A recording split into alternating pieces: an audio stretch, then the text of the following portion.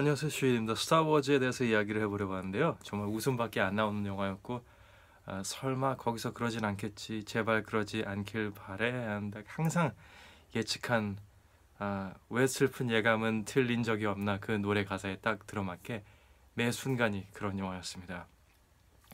Force Awakens 자체가 워낙에 그 첫 번째 스타워즈 영화 뭐 에피소드 4 이런데 전 그런 거 취급 안 하고요. 스타워즈는 그냥 스타워즈입니다. 그 전에 에피소드 1, 2, 3가 있는 거지. 스타워즈는 스타워즈. 그거 그냥 재탕한 거잖아요.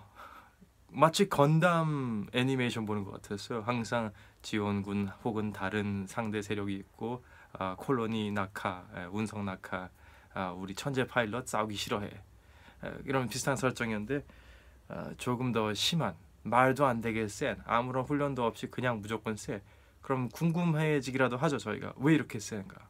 이 사람의 어, behind story 역사나 그 배경은 어떻게 되나? origin은 어떻게 되나 궁금해하는데 이 편에서 라이언 존슨이라는 감독이 나와서 어, 1편에서 억지로 깔아둔 어, 떡밥이나 그 세팅 같은 걸 다 이렇게 예 와장창 예나 안에 상 없는 걸 한 번 했죠.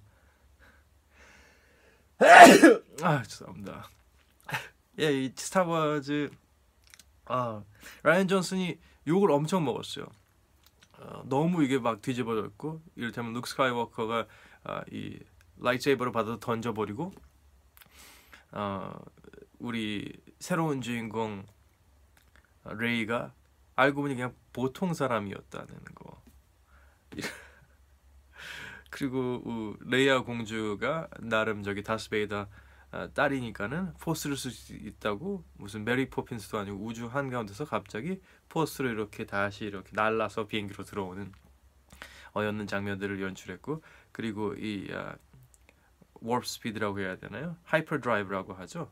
스타워즈에서는 아마 예 그걸 하는데 그그 그 순간 이동까지는 아니지만 엄청난 속도로 무슨 무슨 속도를 돌파하는 건지 모르겠지만 그 드라이, hyperdrive를 하면서 그 속도를 이용해서 상대방을 친다 그런 어, 필살기 무기 같은 걸 보여줘가지고 사람들이 어이가 없어했죠.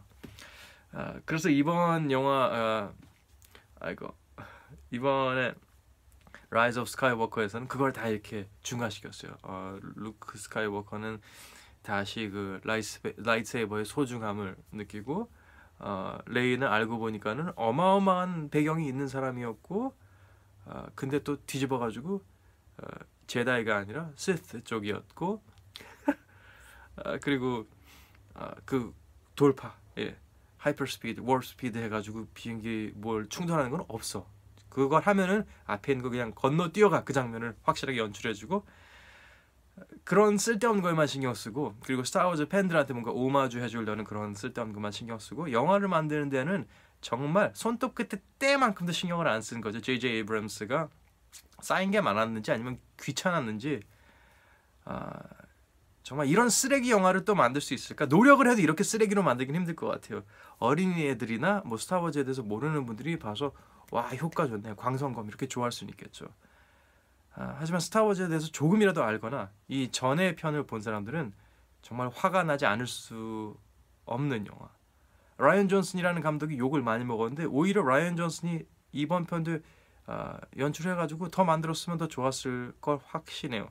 누가 연출을 했어도 J.J. 에브람스보다 낫을 것 같아요. 아, 한계일지도 모르죠. 어, M. 나이 샤말란이 Sixth Sense 이후로 항상 반전을 노리면서 영화가 점점 이상해지면서 바닥을 친 것처럼 제이제 에브람스도 바닥을 치는 건지도 모르겠네요. 아, 예. 그리고 디즈니 쪽이라서 그런가 마지막에 어 안 될 것 같아 했더니 뭐 여기저기서 일반인들이 도와주러 떼거지로 몰려오는 거 이번 배 들리는 줄 알았어 난 무슨 엔드게임의 마지막 장면도 아니고 엔드게임은 그나마 디즈니는 어벤져스가 있기까지 정말 어마어마하게 많은 영화로 이렇게 타임라인이랑 그리고 친숙한 캐릭터들이랑 세계관이랑 다 있는 익숙한 얼굴들이 오니까 우리가 반가워하는 거 그것도 그렇게 반가워하지 않았죠. 엔게임에서 솔직히 제일 감동적인 장면이 떼거지 일어나서 정신없는 액션 씬이 아, 아니었고 우리 캡틴 아메리카가 뮬니를 잡는 거 그 장면이 제일 오히려 더 익숙했었잖아요. 어벤져스 어셈블 한다는 하는 것도 괜찮긴 했지만 그거는 그 인물들 각자의 매력이었지 떼거지를 모여서 하는 건 정말 멋이 없어요. 그건 악당들이 하는 거지. 예.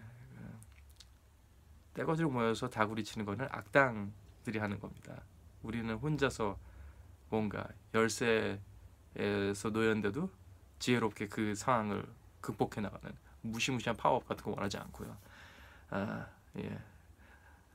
라이언 존슨은 그리고 Knives Out이라는 영화를 만들어서 정말 성공했고 감독으로 인정받았고 아, 스타워즈는 본인이 하고 싶은 대로 다 하지 못하고 어느 정도 디즈니랑 제이제 에브램스의 눈치를 봐, 보면서 만들었기 때문에 그리고 Force Awakens 자체가 이미 쓰레기 영화여서 거기서 살릴 수 있는 방법은 다 예, 싹 갈아엎고 새로 시작하는 것밖에 없었다는 라이언 존슨의 취지가 맞았다고 봐요. 그걸 다시 엎은 걸 주워서 다시 세팅한 게 제이제 에브램스가 한 거고 스타워즈는 제발 좀 생각을 하고 어, world building이나 스토리를 길게 잡아서 했으면 좋겠어요.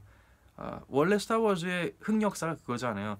그냥 영화 하나로만 끝났는데 어쩌다가 이렇게 속편을 짜맞추다 보니까는 어, 알고 보니까 남매였는데 deep kiss도 한 게 됐고 이게 애인인 것처럼 됐다가 어, 천하의 악당인 줄 알았는데 알고 보니 우리 주인공 아빠고 뭐 점점 이렇게 좀 예, 억지로 이렇게 끼워 맞춘 게 많잖아요.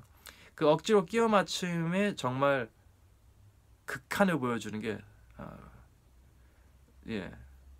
스카이워커인 것 같아요 이번 마지막 영화. 그리고 아, 그 lightsaber 이거 있잖아요. 저 prequel이라고 에피소드 1, 2, 3를 욕을 많이 먹는데 거기는 최소한 lightsaber 이거 하는 장면 트레이닝 엄청 해가지고 정말 훌륭한 검술 이 battle scene이었거든요. lightsaber 진짜 화려해요. 차라리 그 에피소드 1, 2, 3 저는 특히 에피소드 3 Revenge of the Sith 그걸 제일 재밌게 봤거든요. 왜냐하면 그 스토리는 둘째치고 액션이 되게 좋았어요. 어, General 그리버스랑 어, 우리 오비완 케노비가 force를 쓰면서 이 어, lightsaber를 잘 재밌게 활용하고 그런 게 재밌는데 그런 게 여기는 아니 무슨 이렇게 치기 전에 이렇게 대고 있고 그래요. 아니 장난해?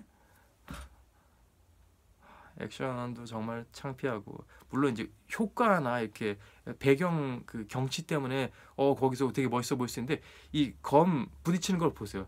이렇게 하기 전에 이미 이렇게 올라와 있는데 갖다 그 검을 치는 그런